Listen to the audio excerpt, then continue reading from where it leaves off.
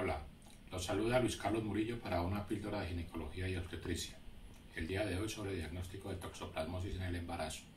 Inicialmente, siempre se debe pedir IgG e IgM para hacer una adecuada interpretación independiente del momento del embarazo en que esté la paciente. Una IgG y una IgM negativa significan susceptibilidad a la infección y se maneja con IgM mensual. Una IgG positiva y una IgM negativa significan infección previa y no requiere seguimiento. Es como una vacuna natural.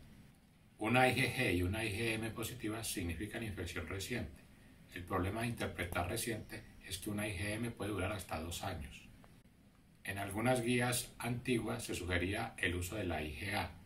El problema con la IgA es que su perfil de sensibilidad y especificidad es muy pobre para resolver la situación. Si el embarazo es menor a cuatro meses, es útil el test de avidez.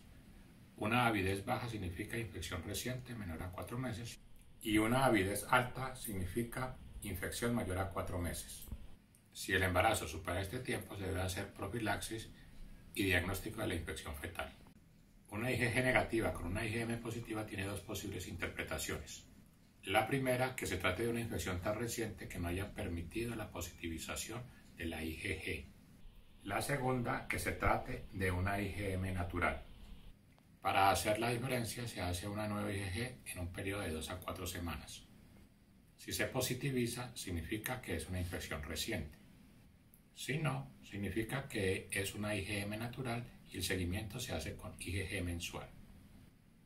Hasta aquí la píldora de hoy. Nos vemos pronto.